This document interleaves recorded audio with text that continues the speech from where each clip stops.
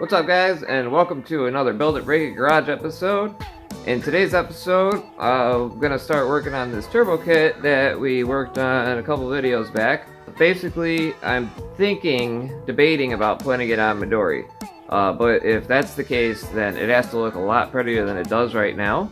Like, all these welds need to get ground down and make them look all nice and pretty and smooth. So what I'm to do is I'm to start on the downpipe. We're to see what it takes to make that actually look like one solid piece instead of uh, multiple sections.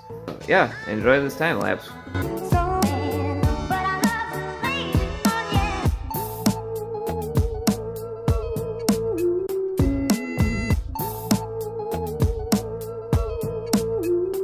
Okay, so uh, the first bit of grinding is done. Came out pretty good. Doesn't look too bad, but uh, I'm still getting a lot of stripes and things that I want to have filled in. I want to have it look like one solid piece when it's all all done. So I'm going to take the welder, fill in those cracks, crevices, and then grind it back down and see how smooth we can actually get this.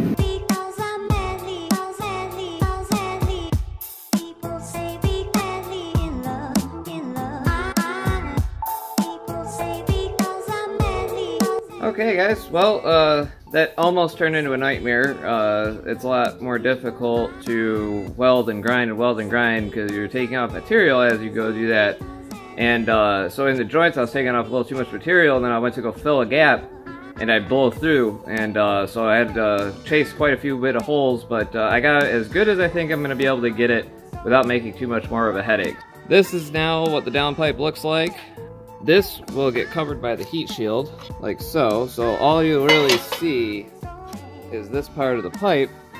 And I was able to get that super nice, and now it all looks like one piece instead of multiple joints. So next up, I'm gonna take the manifold off and actually try to clean up the U-bend on that. So that should be um, pretty much a simple task, uh, but I'm gonna try to keep in mind of the problems I have with the downpipe. So Fingers crossed I don't have any more problems.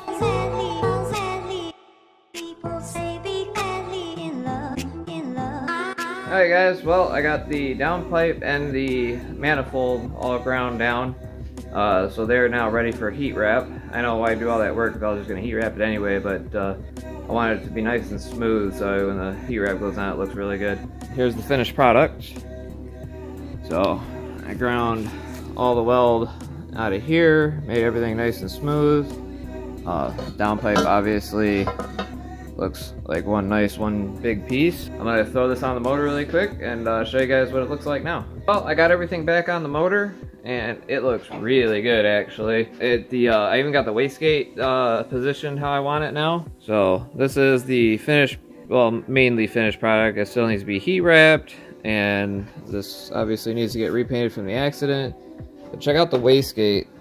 Look how tight. There's, I mean, it's literally like right there, touching almost.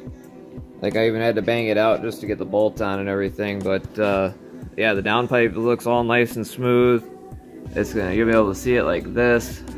Like, that should be how basically it looks in the engine compartment. Yeah, I'm really pleased with this. Uh, came out a lot better than I was uh, expecting it to, to the point where I'm actually going to be throwing it on the car now. I just need to order a bunch of parts and get, I'm going to be custom making my own intercooler piping out of steel. I'm not going to be using the aluminum. I don't want a lot of couplers, so I'm going to be welding all my intercooler pipes together. I got to order some oil feed lines, oil drain lines, and uh, basically just get the things that I need fixed and then we're gonna make a video about turboing the Midori green car. So look forward to that. Uh, other than that, uh, you guys have a great day. Thank you for watching. Also give us a like, comment, and subscribe. And we'll be seeing you later. Peace.